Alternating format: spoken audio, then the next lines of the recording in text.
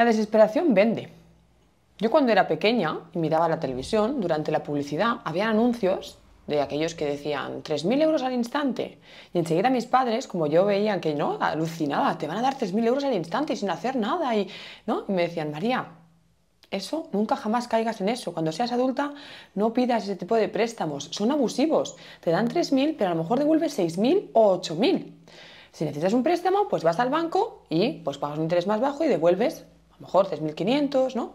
Entonces yo pensaba, pues si puedes pedir los 3.000 igualmente y no pagar tanto interés y no, no, no, que no abusen de ti, ¿quién pide esos préstamos al instante para ¿no? que te den 3.000 y pagar 6.000? Y luego, con los años, lo entendí. Pues esos préstamos los pedía gente desesperada. Gente que a lo mejor tenía hijos no les podía dar de comer, gente que tenía que pagar las facturas o les cortaban la luz y el agua, gente que les quitaban la casa. Entonces decían, yo cojo esto y ya mañana veré cómo soluciono el problema. Pues lo mismo que pasa con el dinero, pasa con la salud.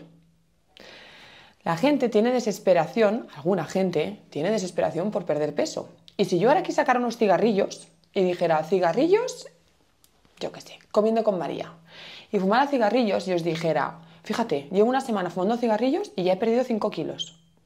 Muchos diríais, pero esta mujer qué dice, se está fumando, si el tabaco mata. Pero muchos otros, los que tienen desesperación, dirían, pues yo qué tengo que perder. Yo ya he intentado todo, pues yo lo voy a probar, oye. Si una semana estoy fumando y no pierdo peso, pues lo dejo, pero lo voy a probar. Y yo vengo a vender cigarrillos. Con todo esto quiero deciros que la desesperación vende y que si tú ahora mismo estás desesperado o a lo mejor tienes en tu entorno alguien que lo está y no te estás dando cuenta, demos ayuda y busquemos ayuda.